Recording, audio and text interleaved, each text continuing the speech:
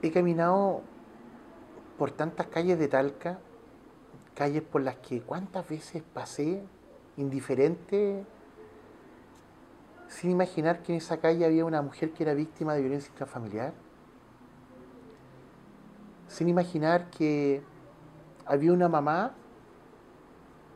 que hacía pan amasado y que bordaba para poder tener el sustento para su hijo, para que los niños tuvieran colación para ir al colegio. He caminado por calles en donde hay escuelas de niños con discapacidad. Yo he conocido historias tremendas. Conocí la historia de un niñito que fue abandonado a su suerte, teniendo discapacidad por su papá. Se quedó con la mamá y finalmente la mamá tampoco fue capaz de seguir viviendo con él y lo dejó abandonado a su suerte. Y ese niñito terminó en el Sename.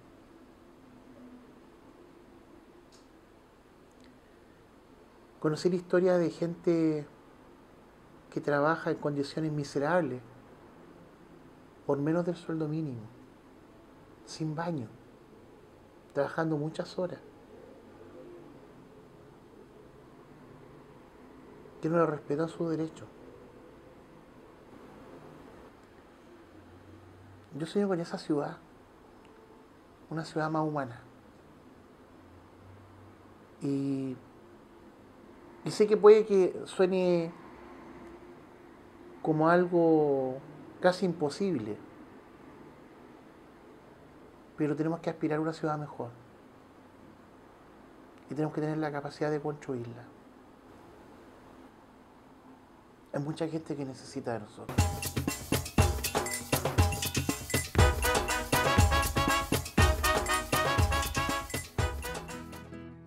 Acompáñame seamos capaces de cambiar lo que existe. Tenemos un entorno hermoso que lo podemos hacer mejor, más humano. Pero para eso necesito de ti. Yo por mi parte soy leal contigo, soy leal con Talca.